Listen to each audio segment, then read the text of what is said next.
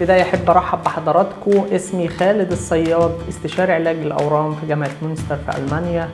I will give you today a summary about cutaneous lymphoma radiation indications. سيأتي محاضرة اليوم أستاذ دكتور بروفيسور جورج ميخائيل أستاذ علاج الأورام في لندن. Um, so today I will be covering the role of radiotherapy in high-grade aggressive lymphomas. Since 2007 he has been appointed as the president of European Society of Endocrinology I'm very happy that this society was founded. This is nice pleasure and honor uh, for me uh, to be in Egypt. Unfortunately, virtually today, but I hope to visit Egypt uh, uh, again. Um, I really feel prestigious to have a talk in this new and prestigious um, society of the um, German Egyptian Society of Research. I have the honor to uh, introduce uh, Dr. Dennis Alexander Eichenhau- Eichenauer. Your CV is so long so Yeah, it we will- is. It is. We are talking about doing sarcoma today. آه، زملائي الأعزاء آه، أنا محمد الشرقاوي استشاري الأشعة التشخيصية والتداخلية آه، متخصص في المخ. خريج طب طنطا من 2005 وأنا في ألمانيا. أنا اسمي الدكتور علاء الشرقاوي.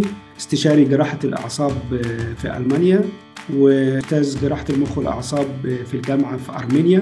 فقرت التخدير في مستشفى بيتنجن الجامعي في ألمانيا. كمان كونسلتنت في برودكتيف ميديسن اوف اي في اف تراي تو تيك ويذ مي توداي ا سمول بيس اوف ذا فرنش radiation oncology history. So the weather seems to be nicer than in Münster. Yeah. You see my slides?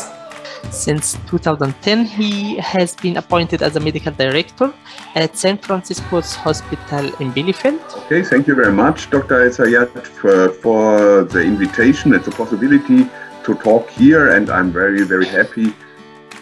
Professor Nieschlag is the editor of nine books and has authored more than 250 articles in books and more than 800 articles published in biomedical scientific journals.